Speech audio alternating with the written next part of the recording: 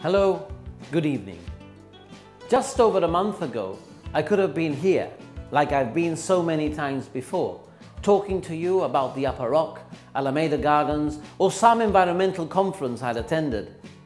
Some of you may know me from my presenting shows or taking part in stage productions. Others will have seen me running about the open-air theatre in the Alameda Gardens. Some others may even remember me as your scout leader. Still others may have seen me in a more serious role, listening and deliberating while chairing my bench in the magistrate's court, trying hard to be just and fair in my judgments. And some of you may recall our good days together in the old St. Bernard's Hospital where we achieved so much. Now, after all this, after all these years, I'm asking you once again to put your faith and trust in me and my colleagues by voting for us in the general elections on the 8th of December. Why have I done this? Why am I willing to leave to one side the pleasure of working in one of the most beautiful gardens in Europe and change all that for the pleasures of government? Well, simply because I care about people and I care about Gibraltar. And despite what you might hear, Gibraltar needs your help. Things need to change. The GSD government has become increasingly detached from the people, from you and me, the people it's entrusted to serve, not to rule.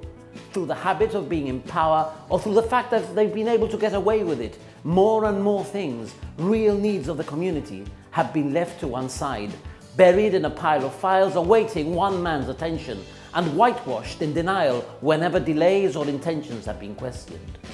Instead, we're told that everything's fine by the GSD. This state of denial is dangerous and not responsible. Government stopped listening to the people a long time ago, and the people who need to be listened to are frustrated. Anglers, spear fishermen, environmentalists, civil servants, architects, town planners, surveyors, doctors, nurses, and other professionals are just not considered by the government as part of the team. Even some ministers are not considered part of the team. And look, I've been there. I've seen it for myself. If you put your faith in me and the 10 GSLP Liberal candidates, I can guarantee that all this will change, that you will be given back your voice, because it's all of us together who can take Gibraltar forward.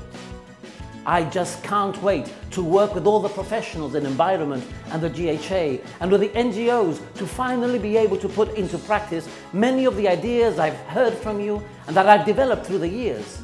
Some of these are included in the manifesto, but others too, all of which we are committed to. Many of you who I've been meeting over the past month or so know how true this is, and I look forward to meeting many others. Together, we've developed a program to achieve real progress in the fields of health and the environment. We'll improve the quality of life by introducing new green areas, including the impressive Commonwealth Park, with its underground car park designed in such a way that the park can hold the lake and well-grown trees.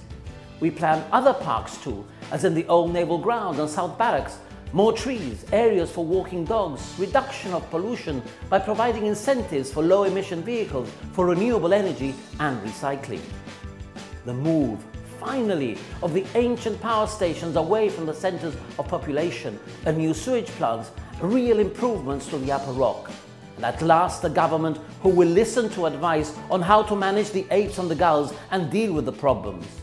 Very importantly, we will introduce proper management of the sea to allow all Gibraltarians to follow their interests by providing specific facilities to anglers, boat owners, divers and others, while at the same time preserving our marine wildlife effectively and preventing foreign fishermen acting as if they owned our waters. We will provide a clubhouse for the GFSA, who we recognise as the go-to body in respect of angling. And we will provide new environmental enforcement team and support for our law enforcers to ensure that this is the case. We will improve our beaches in a way that sand won't wash away and make areas like Rosia Bay and the Nuffield Pool properly equipped for people, while making much needed improvements in Catalan Bay and the other beaches. We will have open, fair planning with government projects being treated in the same way as private ones and objectors having the right to be heard. We will of course encourage development, but this will be with the environmental and social safeguards Gibraltar requires. My colleague Neil Costa has already spoken to you about improvements in healthcare. These will include improving care for mental illness and the elderly, improvements to sponsored patient procedures, provision of oxygen therapy, and more dedication to disease prevention as well as care and cure.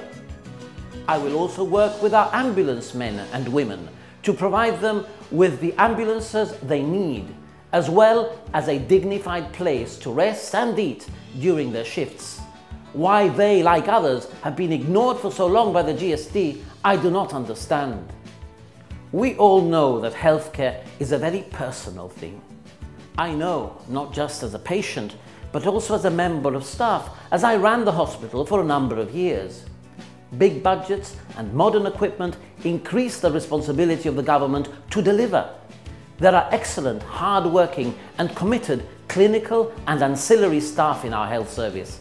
That should be a formula for success. So what's happening? You see, it is also true, as you will know if you work there or are close to someone who does, that morale is suffering badly. The link between those at ministerial and top management level and front-line service providers is weak and support is poor and uninspiring. As a result of this, the heart is being torn out of our health service. One of my biggest tasks, but one that will give me the greatest satisfaction, will be to guide the health service in changing the way things are done and to make sure that health workers have support and involvement and that they as well as patients, are at the core of charting the future of our health services. This principle is totally consistent with the open, fair, embracing style that we will bring to Gibraltar with the new dawn. My friends, dawn on the 9th of December is drawing near. The choice is clear the GSLP Liberal lineup is a true cross-section of our community and at the same time the most highly qualified slate ever to stand for election in Gibraltar. It is a team of committed, hard-working people who deeply care about Gibraltar, about doing things differently, better. We want you to share our vision, the vision that brought me to where I am today, addressing you in your homes the vision that you will be a part of by giving your vote to all 10 GSLP Liberal candidates. On election day, you have the power to make the difference, to give us your support to deliver the refreshing policies and way of doing things that Gibraltar needs. Because if you do, I promise you, we will give Gibraltar back, back to its people. Good night. Thank you for this. Take a good look around. Someone that hears our demands. This time we can make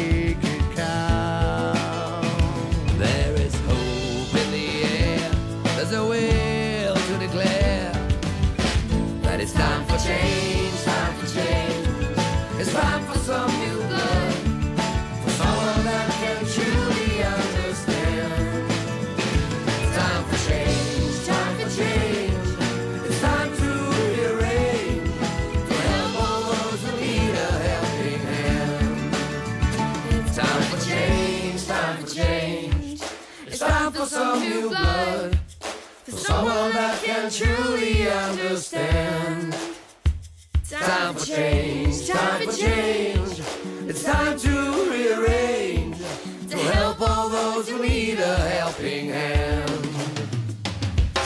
shame.